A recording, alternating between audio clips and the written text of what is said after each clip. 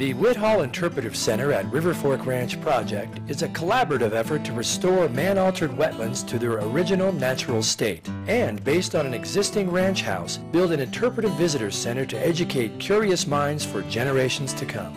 Well, the Nature Conservancy typically uses a collaborative approach to everything we do, and that's one of our strengths in bringing together really diverse people to gain consensus on our projects when we're working to protect and conserve Uh, biodiversity in an area.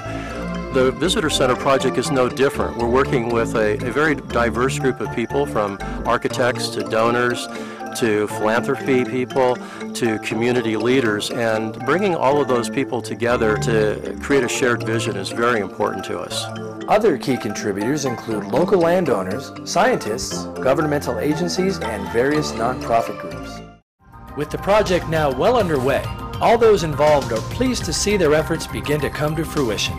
We're really excited in the future with the prospect of having school children of all ages, um, elementary, high school, through college, out here on our property, not only seeing the visitor center, but on our nature trails, out interacting with the environment. And of course, education is, is, is the essential ingredient because if the children don't see what the natural river system is like, then they're going to be less inclined to be concerned about it. More than just a visitor center, the Whit Hall Interpretive Center at River Fork Ranch is a unique project for the Nature Conservancy, which is generally known for acquiring and protecting lands around the world. The goal is that it will reshape the way people experience and think about land and water protection strategies in a traditional working landscape. The ability to use this resource as a teaching tool for our children in the future is very important. I think there's an increased perception amongst people globally in the need to protect land. We need to be mindful of future generations and all that we do, and I think that we're seeing more and more of that in the current generation.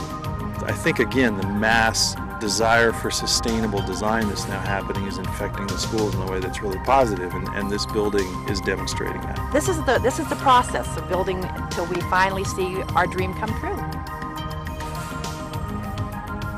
The Nature Conservancy, protecting nature, preserving life.